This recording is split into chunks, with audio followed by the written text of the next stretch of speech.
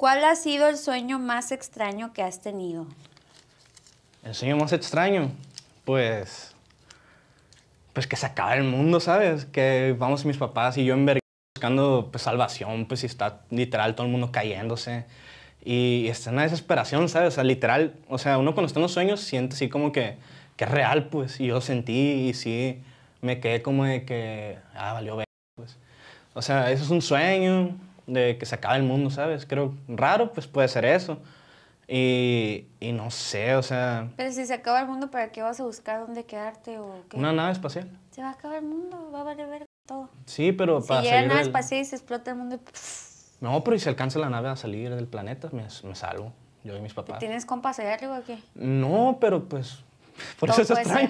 Por eso es extraño. Dile a los zombies, les hago una pizza, pero si vienen por mí. Les hago pizza gratis. el resto de mi vida. ¿Cuál es la mayor lección que has aprendido de la vida? Creo que ser más espiritual, ¿no? Con una persona es así tan impulsiva y neurótica. Ser más espiritual, pues. Pues. A mí se, me- se me ha dicho muchas veces: tranquilízate, güey, no, no te la hagas de pedo, no. No. Por hoy no, no, te, no, no- no te enojes, pues. Solo y, por hoy. y- solo por hoy. Y trato de no enojarme, ¿sabes? Por ejemplo, venir aquí, pues para mí, pues sí me da nervios, como no, te, te mentí, la verdad sí estoy nervioso, pues. Pero lo mantengo simple, o sea, vengo aquí a, a pasar un buen rato más que otra cosa. Pero es mejor, como dice Anuel, real hasta la muerte, baby, porque... Brr.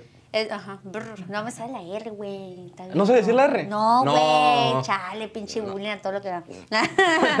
no, es que sí es bueno decir, por ejemplo, yo he aprendido, en, es- en lo que he aprendido en la vida, a mi corta edad, he aprendido que es mejor ser tú sin miedo a lo que diga la gente. Exactamente. Yo puedo decir, o sea, yo siempre he dicho, mi mamá me consiente, a mis 17 años me operé, estoy contenta, soy mamá, soy lo que yo quiero ser. O sea, Sí. y si pues, estoy nerviosa y tengo ganas y, de llorar y la también. que, y la queso.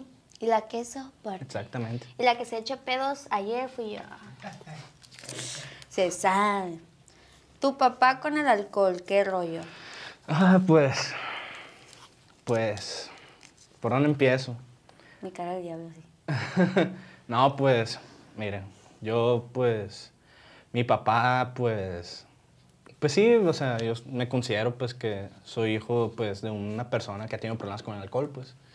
Y, y sí ha sido un poco difícil, o sea, porque no solo es sufrir el, el alcoholismo de tu papá, sino, o sea, sufres la relación de tus papás, pues. Claro. Ahí me ves a mí buscando a mi papá con 15 años, 14 años, buscándolo por toda la cuadra, rayándolo, sin encontrarlo.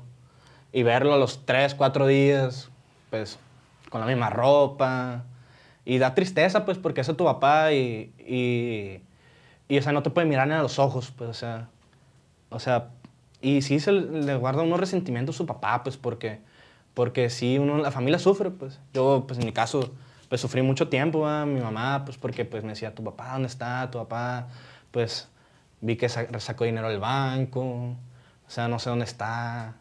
Y poder consolar a tu mamá es como de que pues, no se vale, pues. Y si uno crece resentido, pues, o sea, y como esa hay muchas anécdotas, o sea, Sentías que tú eras el hombre de la casa. Exacto, sí, muchas veces yo, yo, y yo le decía a mi mamá, mamá, pues mire, la neta, pues soy mesero, en ese entonces era mesero, y decían, ah, ¿qué tiene, mamá? No pasa nada, nos vamos a administrar. O sea, muchas veces, eh, y hasta la fecha he querido a mi mamá, pues, alejarla de todo eso, pues. Ayudarla. Ayudarla, claro, sí, o sea, mi, mi sueño en esta vida es poderle dar una casa y que ella esté tranquila, pues.